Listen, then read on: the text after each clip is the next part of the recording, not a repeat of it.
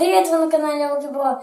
Сегодня я вам расскажу про тэквондо, как отличается ИТФ от ВТФ. Пять самых главных отличий. Первое отличие – это правило. В тэквондо ВТФ нельзя делать удары руками в голову, а в ВТФ можно. Например, можно пробить двоечку.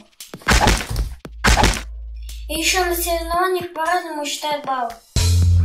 Следующее различие – это амуниция. У нас совсем разная амуниция. У нас есть такие большие перчатки в ВТФ, а в ВТФ маленькие перчатки.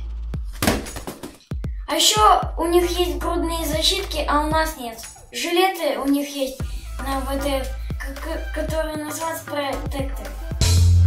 Еще есть одно отличие про добок. У ИТФ есть добок такой разрез. А у ВТФ нету.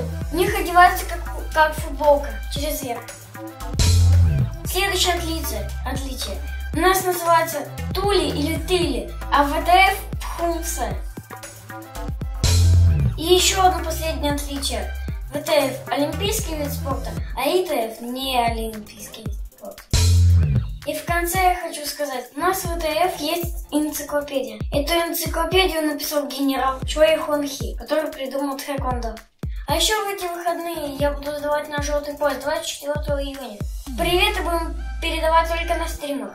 Всем пока! Подписывайтесь на канал наш Рокки Бро. Еще смотрите это видео, это, это, это, это, это.